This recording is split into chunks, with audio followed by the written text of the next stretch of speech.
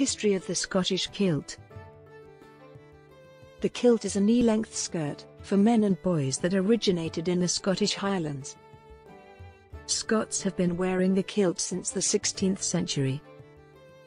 The kilt was first worn in the 16th century, although it was referred to as the Great Kilt, or Philimister in Scottish Gaelic, pronounced More. The top half of the Great Kilt was worn over the shoulders and dropped right down to the knees. Whatever the weather, these magnificent clothing kept clans warm, in the freezing highlands. Plants, lichens, fruits, and roots were used to make the wools and dyes, which were collected locally. The same group might have comparable color kilts, based on where they resided, with some variance depending on the year's seasons, and natural resources available. Because Scotland is so far north of the equator, you'd think the kilt would be welcomed, but that wasn't always the case. Clan MacDonald and Clan Fraser fought in the Great Glen, on Loch Lochy's northern edge in 1544. The Battle of the Shirts is how this battle is known.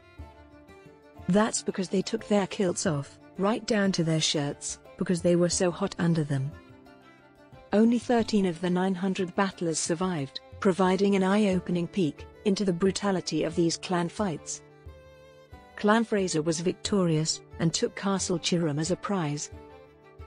This castle's remnants can still be seen today. You might be shocked to learn that the idea for today's shorter length kilt did not originate in Scotland. In the 1720s, an English Quaker named Thomas Rawlinson, from Lancashire, came up with the concept the great kilt was too much for Rawlinson, so he chose to separate it and make a single piece that ran from the waist to the middle knee. The little kilt, known in Gaelic as Filibeg, pronounced Feilebeg, was born. Rawlinson and some of his peers began wearing the little kilt. It was quickly adopted by the Highlanders, as well as some Lowlanders. The Dress Act, 1746, was passed in the 18th century, and went into effect on August 1, 1746. The Act made wearing the Highland attire, which featured the kilt, illegal. The restriction was enacted to bring Scottish clans under government control. The army is the only exception to the rule. The law was not overturned until July 1, 1782, as Scots kissed their kilts goodbye. The proclamation was issued, in both English and Gaelic and read as follows. Listen, men.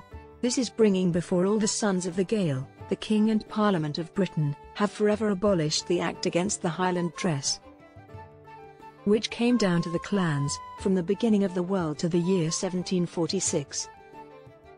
This must bring great joy to every Highland heart. You are no longer bound down, to the unmanly dress of the lowlander. This is declaring to every man, young and old, simple and gentle, that they may after this put on and wear the truis, the little kilt, the coat, and the striped hose, as also the belted plaid, without fear of the law of the realm, or the spite of the enemies. The kilt was no longer widely worn at the period. Thankfully, some organizations began to promote the widespread adoption of historic Highland attire the kilt slowly but steadily made a comeback. It's fascinating to consider that the kilt was almost completely lost to history. The Scottish kilt is bold, distinct, and unlike anything else. The garment normally wraps around the lower body, starting at the left hip, and going around the front, and back to the opposite side, where it is tied. From the hip to the middle of the knee, the kilt is worn.